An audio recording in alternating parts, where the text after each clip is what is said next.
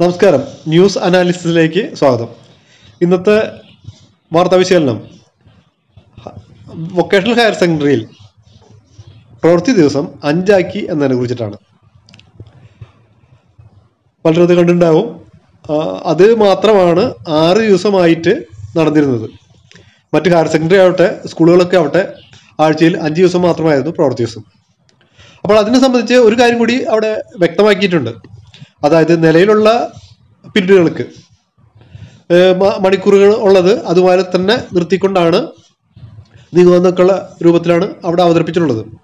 അതുപോലെ തന്നെ നിലവിലുള്ള ചില പേപ്പറുകൾക്ക് ഒന്ന് രണ്ട് വർഷമായിട്ട് മാർക്ക് കുറവും സിലബസ് കുറവും ഒക്കെ അനുഭവപ്പെട്ടിരുന്നു എന്നുള്ള കാര്യം ഇവിടെ ചിന്തനീയമാണ് എന്ന് പറയുന്നു.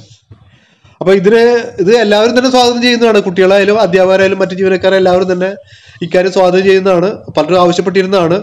കുട്ടികൾക്ക് ട്യൂഷൻ ഉണ്ട് എൻട്രൻസ് കോച്ചിങ് ഉണ്ട് അതുമായി ബന്ധപ്പെട്ട കാര്യങ്ങളൊക്കെ വരുമ്പോൾ ഈ ശനി ഞായറും പ്രയോജനപ്പെടുത്താനായിട്ട് പറ്റും. പിന്നെ ആഴ്ചയിൽ ആറ് ദിവസം വർക്കിംഗ് ഡേയ്സ് പറയുമ്പോൾ കുട്ടികളെ സംബന്ധിച്ച് ഏറെ ബുദ്ധിമുട്ടുകളാക്കുന്നതാണ്. ഒരു ദിവസം ഒരു ഫ്രീ ടൈം കിട്ടാം കൂടി കിട്ടുക എന്ന് പറഞ്ഞാൽ അവർക്ക് പലതിനുമായിട്ട് ഉപയോഗിക്കുകയൊക്കെ ചെയ്യാമല്ലോ. അതുപോലെ തന്നെ ക്ലാസ്സുകൾ തുടങ്ങുന്നതും നേരത്തോടെയാണ്. വിടുന്നത് നേരം വൈകിയാണ്. മറ്റ് ഇതിനൊക്കെ സംബന്ധിച്ചിടത്തോളം നേരത്തോടെ തുടങ്ങി നേരം വൈകി വിടുന്നു. ഉച്ചയ്ക്ക് ഇന്റർവെൽ അല്പം ഒക്കെ കുറച്ച് ചില സ്കൂളുകളൊക്കെ അഡ്ജസ്റ്റ് ചെയ്യുന്ന ഒക്കെ ഉണ്ട് അപ്പോൾ അത്തരത്തിൽ നീങ്ങിക്കൊണ്ടിരിക്കുന്ന അവസ്ഥയിൽ ഒന്നുകൂടി സുഖകരമായ രീതിയിൽ സമയക്ക് ക്രമീകരണമൊക്കെ നടത്തിയിട്ടുള്ള രൂപമാണ് ഇപ്പോൾ വരുന്നത്. അതുകൊണ്ടാണ് തന്നെ അധ്യാപകരായാലും കുട്ടികളായാലും ഒക്കെ തന്നെ എല്ലാവരും ഇതിനെ സഹർഷാണ് സ്വാഗതം ചെയ്തിരിക്കുന്നത്. ഇത് ഇനി ഇതിന്റെ ആഫ്റ്റർ എഫക്ട്സ് എന്തൊക്കെയാണെന്ന് ചോദിക്കാം.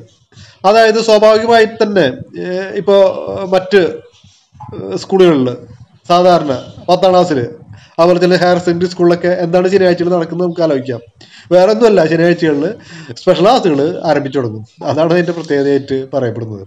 ചില വിഷയങ്ങൾ തീരാത്ത വിഷയങ്ങൾ അങ്ങനത്തെ വിഷയങ്ങൾ അതുപോലെ തന്നെ അധിക പഠന ക്ലാസ്സുകൾ പ്രത്യേക കോച്ചിങ്ങുകൾ ഇതൊക്കെ ആയിട്ട് ശനിയാഴ്ചകൾ നീങ്ങാല്ല അതുകൊണ്ട് കൊണ്ട് ശനിയാഴ്ചകൾ അവധി ദിവസമായി കുട്ടികൾക്ക് കിട്ടുമോ എന്നുള്ള കാര്യം ഇപ്പോഴും ഒരു തർക്ക വിഷയമായി തന്നെ തുടരാണ്. ചില അധ്യാപകരുടെ അഭിപ്രായമാണ് ഇവിടെ സൂചിപ്പിക്കുന്നത്.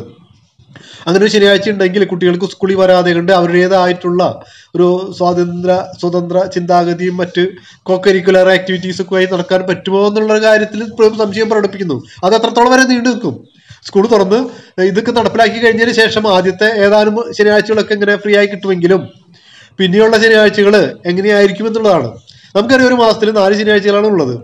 അതിൽ ഒരെണ്ണം സെക്കൻഡ് സാറ്റർഡേ ആയിട്ട് എല്ലാവർക്കും മുടക്കാണ്. പിന്നെയുള്ള മൂന്ന് ശനിയാഴ്ചയുടെ കാര്യത്തിലാണ് ഇത്തരത്തിൽ തീരുമാനം വന്നിട്ടുള്ളത് അവധി ദിവസമാക്കിയിരിക്കുന്നത് പിന്നീട് റിസൾട്ട് കുറവുള്ളത് അല്ലെങ്കിൽ റിസൾട്ട് കുറവുള്ള വിഷയങ്ങൾ റിസൾട്ട് കുറവുള്ള സ്കൂളുകൾ അവിടെയാണ് പ്രത്യേക തരത്തിലുള്ള കോച്ചിങ്ങുകൾ നടക്കാനുള്ള സാധ്യത ചൂണ്ടിക്കാണിക്കുന്നത്. അതും കുട്ടികൾക്ക് നല്ലതാണല്ലോ. എത്ര സമയം?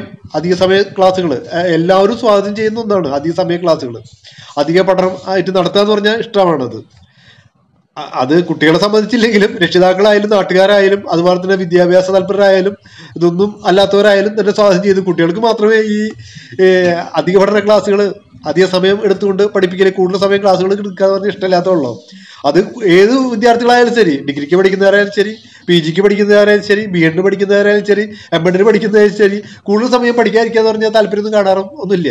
അതൊരു ഫാക്റ്റാണത് അത്തരത്തിൽ പക്ഷെ നിവൃത്തിയില്ലാത്ത സാഹചര്യത്തിൽ കേരളത്തിലെ പ്രത്യേകത എന്താണെന്ന് വെച്ചാൽ അധികമായിട്ട് പഠിപ്പിക്കുന്നത് നല്ലതാണ് എന്നുള്ള രൂപത്തിലാണ് പോയിക്കൊണ്ടിരിക്കുന്നത്. അങ്ങനെയുള്ള സ്കൂളുകൾ നല്ലതാണ് എന്നുള്ള രൂപത്തിലാണ് പോയിക്കൊണ്ടിരിക്കുന്നത്. അങ്ങനെ ടീച്ചേഴ്സ് നല്ലവരാണ് എന്ന രൂപത്തിലാണ് പോയിക്കൊണ്ടിരിക്കുന്നത്.